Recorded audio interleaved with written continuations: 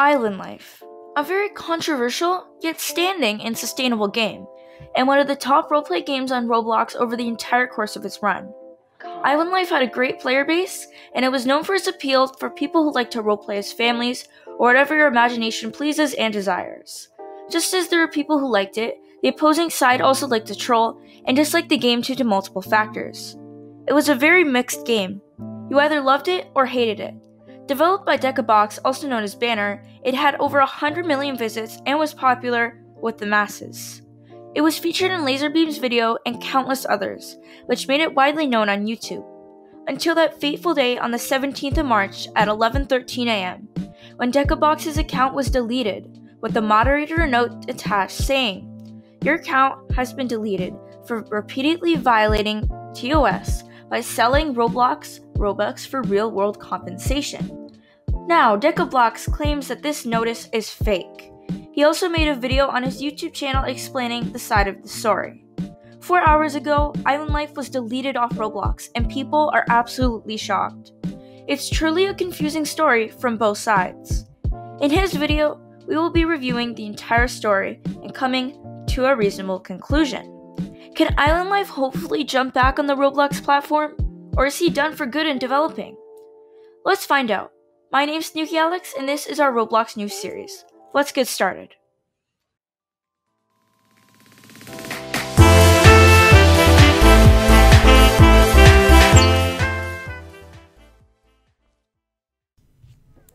Yo, what's up, hashtag Nerd Squad, and welcome back to another video. But before we get started in this video, make sure to subscribe so that way you never miss out on the latest Roblox drama, news, tips, and tricks, and more.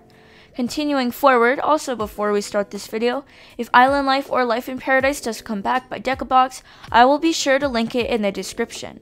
Now, let's get started with our criteria for this video. Normally we organize a video using criteria to help it feel more organized and to skip to a certain time point. I may leave timestamps in the description if I have time, so make sure to check the comments or the description for those. With that being said, our criteria will be three things. Firstly, what is the situation, Decabox's tweets, etc., why Roblox may have terminated him, and lastly, the community opinion or my opinion as well on this situation. Let's get started with our first point.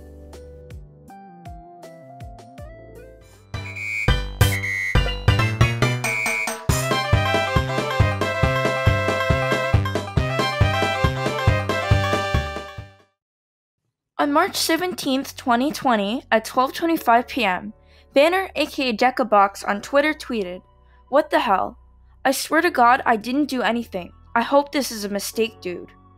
Underneath the thread contains a similar tweet which says, "How dumb could I be to work so hard all this time only to get banned for selling Robux? LOL." So in actually analyzing the content in the image, it is the exact same image we showed before, which says account deleted. Our content monitors have determined that your behavior at Roblox has been in violation on your terms of service. Reviewed 317-2020 at 11:13:58 a.m. Moderator note says, your account has been terminated for repeatedly violating the terms of service by selling Robux for real-world compensation. Your account has been terminated. If you wish to appeal, please contact us at the support forum. Log out. Trying to stay calm because it seems like this will be handled soon. My mind is clear. I know I've done nothing wrong, so now we just wait. Decabox retweets a thread from Classic Rampage that says, question mark, question mark. This is my first ever Roblox warning, and it's for something I haven't even done. Moderator note, buying, selling, and trading Roblox or virtual Roblox items outside of the Roblox website and Roblox app are against our rules. This includes purchasing or participating in offers for Robux on third-party apps or websites. Continuing to do so will lead to further moderation on your account, up to and including account deletion. Banner responds in a retweet with, Pretty sure that's directly related to the reason why I'm banned. This is just so everyone sees how huge this misunderstanding is. A lot of innocent people, including me, are affected. So far, it looks like Decabox is trying to prove his point that this is false because they terminated him for an automated reason and not a manual reason. He continues his point further in the next thread, but it seems he's repeating points so I'll skip some things. So it seems to me that he was lending around limiteds with his friends, and based off his evidence, he is saying that he got banned because Roblox believes he was trading them often, the same limiteds over and over and over again, when in reality it was to his friends. This maybe triggered something in Roblox's algorithm that caused this to go off. This has happened to me with uploading multiple images at once, where it believes it's spam or a robot, etc. It might be the same with Roblox trading or lending items, as Banner did, as he's pretty rich on Roblox.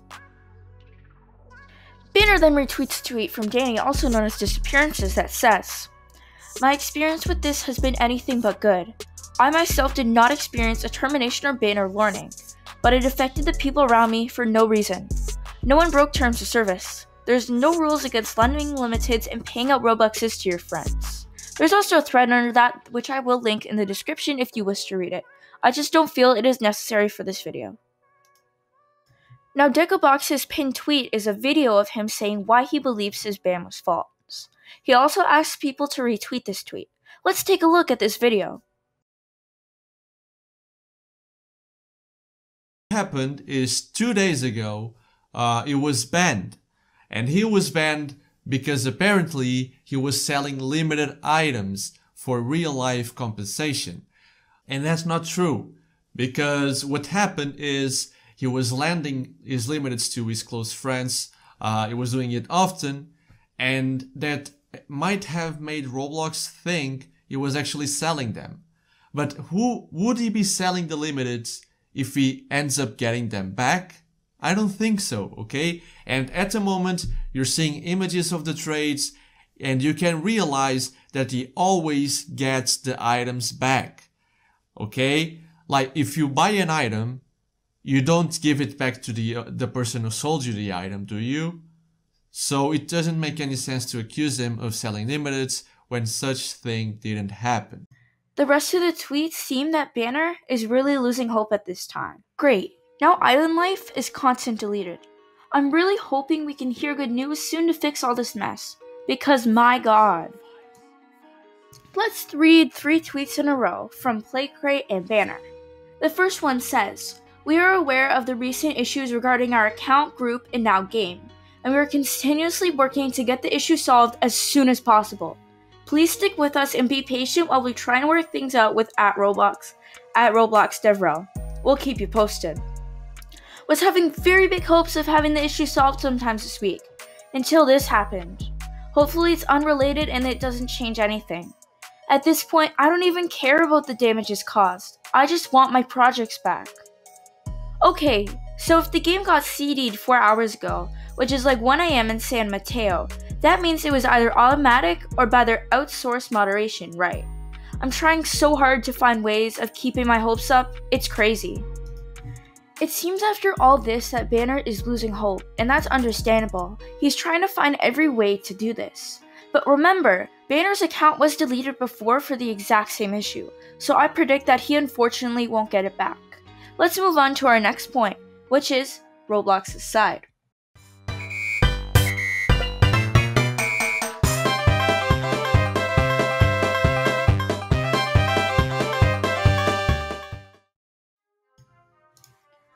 What set off Roblox's moderation was from the auto moderator and constant trades. Based off trade logs that he has proof of, Roblox does have a system put in place to time trades at odd times, which he probably set off on multiple occasions due to lending items. It's what happened with his last account, and although it isn't right, I feel he should have learned to time your trades in a manner that doesn't set off the algorithm or lend items that can be as a dangerous practice. Which normally, former Vermilion sellers, this is what they would do to avoid triggering the algorithm which ended up striking Deca as an innocent. After doing some research in this video on popular sites that sell for USD and real life currencies such as Vermilion, etc., I looked for those sites on a username like his and none popped up. Other sites most third party gamblers do not target, as they do not get enough traffic. It's also gambling sites such as the ones as Roblox Party that they target. Due to the gambling being 50 50, they can take a loss, but also a win. Also, no user similar to his accounts there. Deca is one of them, or Delta Room, etc. But none of these relate to any of his former account names as well, or the PlayCrate IP and property, which is a studio that he works for. Do I believe that Roblox will reinstate his account? Absolutely not. Roblox will reinstate the account due to what happened last time. It will not reinstate it due to what happened last time, and repeat. It keeps records, and if this happens a third time, he may be IP banned from the platform, which is unfortunate. Roblox takes stories like these very seriously and unfortunately has no guilt for people like Deca, because people like third party traders have used advantage of this skill back in the site's olden days to take advantage of their customer support. Therefore, everything now is auto moderated, and Roblox believes that they are doing safety on their part to show that no one will pass the system, even those that do not mean to, like Deca. Let's move on to our next point.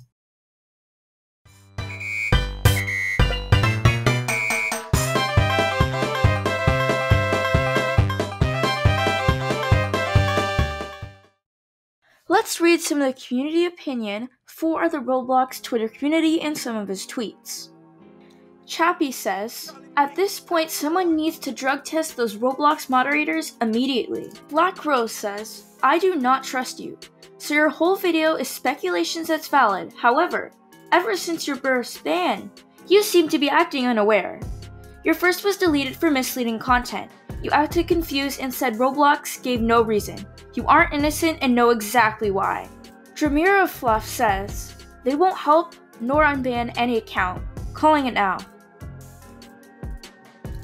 It seems that many are also confused as what's going to happen to their game passes. Godly Memer 661 says, Why? Wait, does that mean when the game comes back, I will have to buy admin and VIP back? And DJ Pass and Premium Editor?